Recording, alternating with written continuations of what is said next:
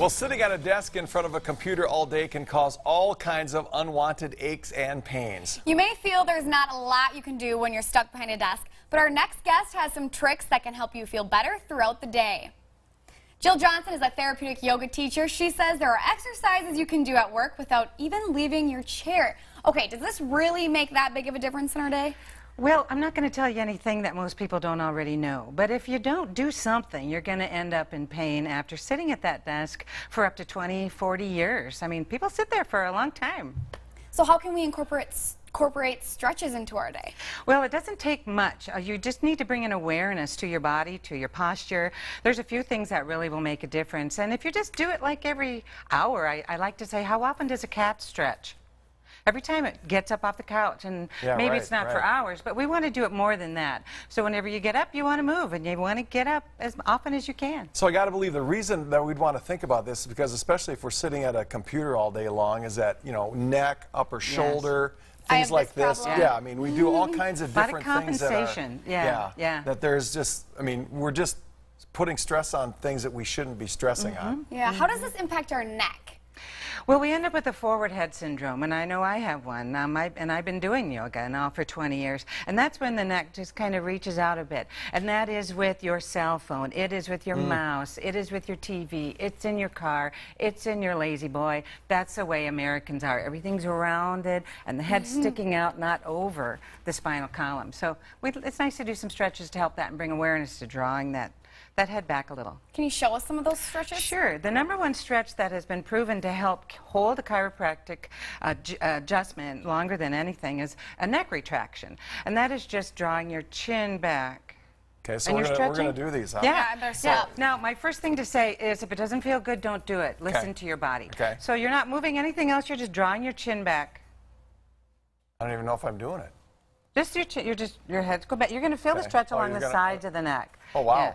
Yeah, just do three to five of those. That's a really good stretch. well, you don't want to stretch it forward. Oh, don't go forward. You just okay. want to stretch it back. And then relax. Kind of scrunch the neck and... Yeah. yeah. Why do we do that? Are we trying to see better? Yeah. Well, I mean, look, think about how natural, how good it feels to go like that, yeah. and you're doing this, right? Okay, so, so, a lot of us who have desk jobs, it's behind a computer, so that means we're, you know, typing a lot. So right. how does this affect our wrists and hands? Well, a lot. What happens is everything. We want to first find out how ergonomic your workspace is. And don't ever stop trying to continue to get a better mouse placement, chair placement, leg placement. But when we start moving outward from our body, the, the pecs start to get a little tight, the chest rounds.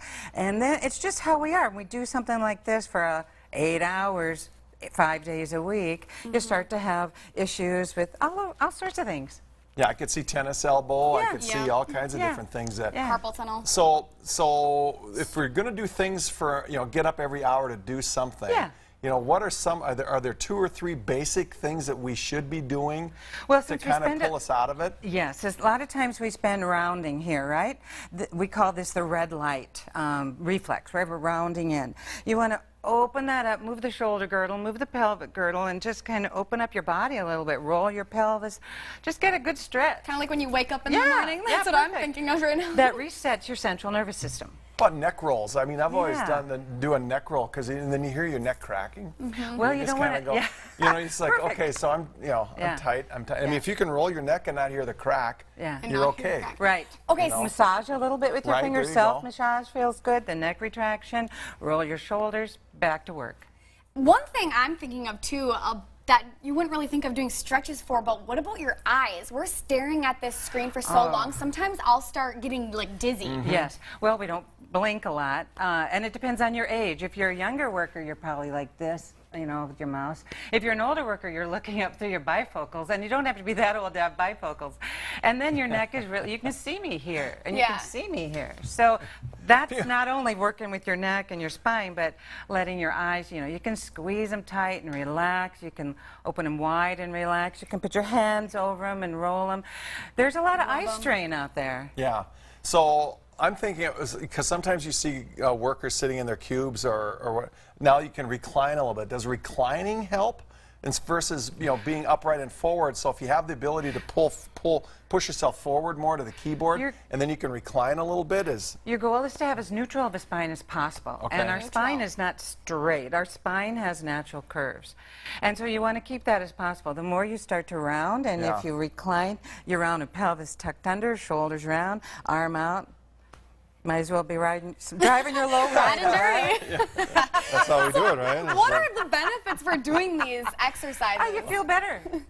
You feel better. Most of the time, and you can self correct. If you don't self correct, you're going to pay somebody to help you when you're in pain. And, Yeah. and we all end, I've, I've been to physical therapy, I've been to a chiropractor, but the more I've learned how to do some therapeutic movements, uh, I feel better. And I don't have to spend my money having other people help me. I think you brought, you touched on it at the very beginning. It's about the the, the awareness itself that you're in, uh, that something's going on, and until Right. most of us, until we are in pain, Right. don't even pay attention to the mental Yeah. part of it. Yeah. And then once you do. How much time, if you get up every hour, hour and a half or so, how much time do you actually need to spend on a few stretches before you might get yourself back in shape and can sit back down again at your workstation? Not much. In fact, the movement therapy I do called somatics, they talk about the hits your body takes. You can take a hit from an accident, a hit from sitting funny, a hit from holding the baby on a hip or a heavy purse over here or looking at your phone. So you're self-correct and you can bring your body back into that uh, natural balance muscularly, structurally. What can you, it doesn't take much. But if you don't do anything, it's going to Yeah. just Right. continue to compensate. So you know they say it takes what 30 days to make something into a habit. Mm-hmm. I know firsthand that when I'm sitting there working and I have a ton to get done, I just zone out and two hours will go past, and I'll I'll have been sitting there that whole time. So how can we remind ourselves what are little things we can do to make sure that we're getting up every hour or doing these Well, you want to reward yourself and not beat yourself up. So pat, pat yourself on the back for remembering, right? And your number one key for reward is that we'll do more to avoid pain than to get pleasure. So you want to be able to not have that pain. Mm-hmm. Set your little clock on your um, computer. Have a friend, have a buddy at work. Um, put something on your phone just to remind you. It's good for your health. And the reaching for the drawer with the treats in it, that is not an exercise? Is I don't know. correct? I think this is an exercise. we shouldn't do that. No, so. Get some arm movement in there. Good advice. Thanks for coming in. Yeah, That's thank really you. good stuff to start the day.